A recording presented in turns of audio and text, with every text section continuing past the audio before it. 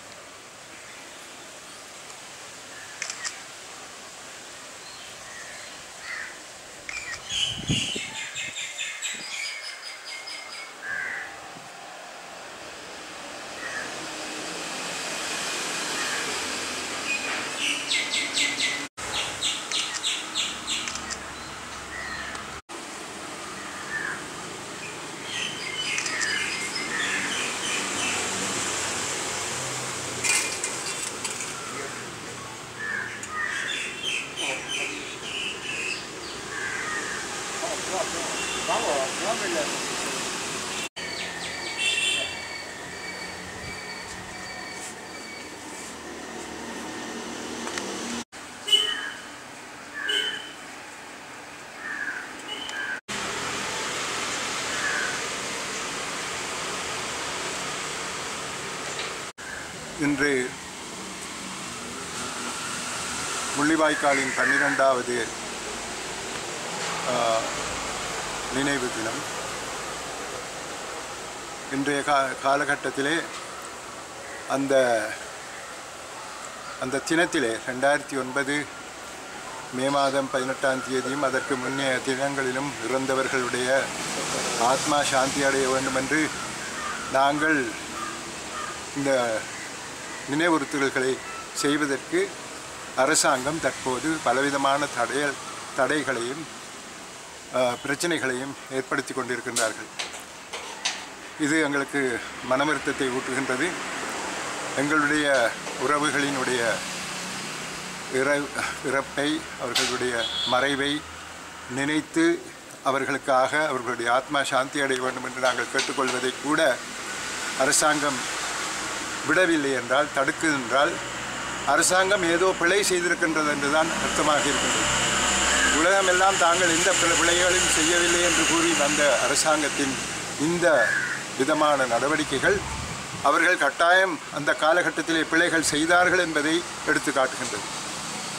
அத்துடன் அண்மையிலே அந்த முள்ளிவாய்க்காலில் இருக்கும் அந்த நினைவுச் சின்னங்களை அடித்து நொறுக்கியதன் காரணமாக மக்கள் மிகவும் மனவருத்தத்துக்கு உள்ளானார்கள். அதை கூட தாங்கள் செய்யவில்லை என்று இராணுவத்தினர் கூறுகின்றார்கள்.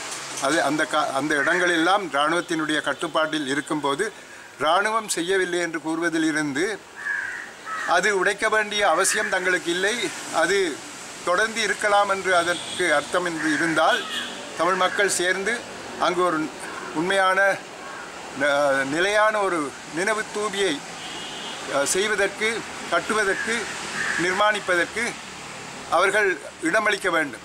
தாங்கள் அது செய்யவில்லை என்றால் அது தொடர்ந்து இருப்பதில் அவர்களுக்கு ஆட்சேபனை இல்லை என்றுதான் அதனுடைய அர்த்தம்.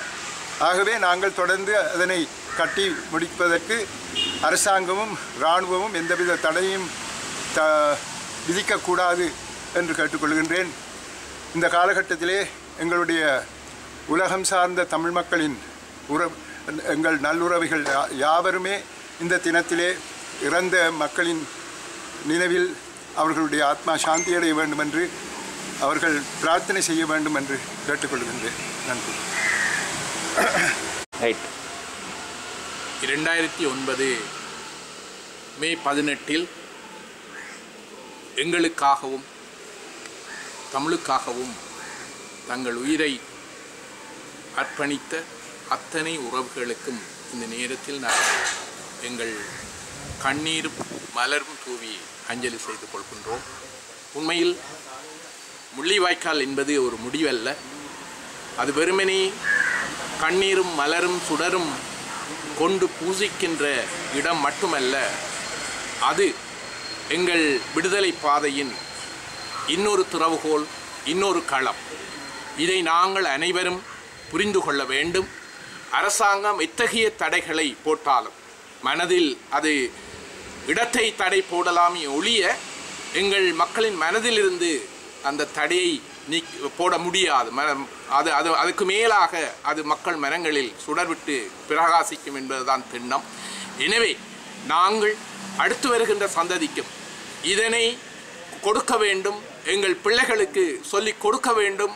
இதுதான் இந்த முள்ளிவாய்க்காலினுடைய தத்துவமாக இருக்கும். எனவே நாங்கள் எல்லோரும் இந்த நேரத்தில் நினைவு கூர்வது மட்டுமல்ல உறுதியும் எடுத்துக்கொள்ள வேண்டும். நன்றி.